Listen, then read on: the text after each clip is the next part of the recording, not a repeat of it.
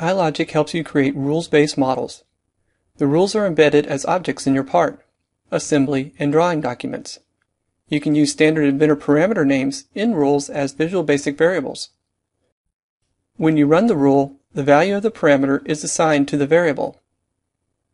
Open the iLogic Basics Parameters part in the Chapter 25 folder of the workspace. Please note that all inventor parameters are case sensitive and do not contain spaces. If the Parameters panel is not on your ribbon, right-click the ribbon and under Panel Flyout, select Parameters. Click Parameters in the Parameters panel on the ribbon. Notice that this part already has a large number of defined parameters. This is core to the concept of using iLogic. Since you are defining rules for your part, having variable names with meaning makes the entire process easier.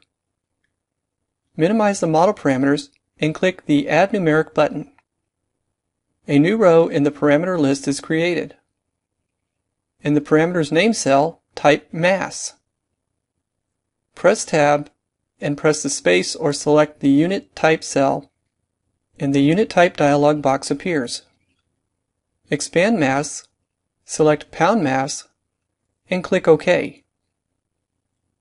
Select the equation cell, type the value of 100 and select the Key checkbox in the Key column.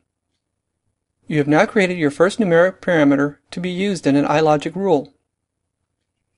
Click the Add Numeric dropdown and select Add Text. A new row in the parameters list is created. In the parameter name cell, type the value holes. Notice the unit type cell is grayed out and has a value of text. Right-click any cell in the Holes row and select Make Multi-Value. This enables you to create a list to limit the values available for this variable. The Value List Editor dialog box appears. In the Add New Items area, type Base, then press the Enter key. Type Flange, then press the Enter key.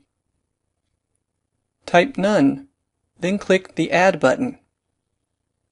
Notice that the values have been added to the value list and click OK.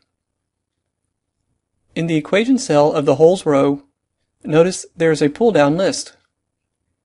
Change the value from base to flange. Select the key checkbox in the key column. We need to create a logic variable, also known as a true-false variable. Click the Add Numeric dropdown and select Add True-False.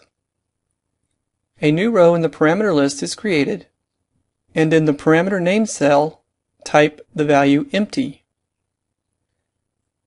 Notice the unit type cell is grayed out and has a value of true false. Select the equation cell and notice it is a pull down with the values of true or false. Select true and select the key checkbox in the key column. Click the Done button. For a numeric parameter, the value is a real number expressed in document units specified in the document settings. Text parameters become string variables in the rule. True-false parameters become Boolean variables.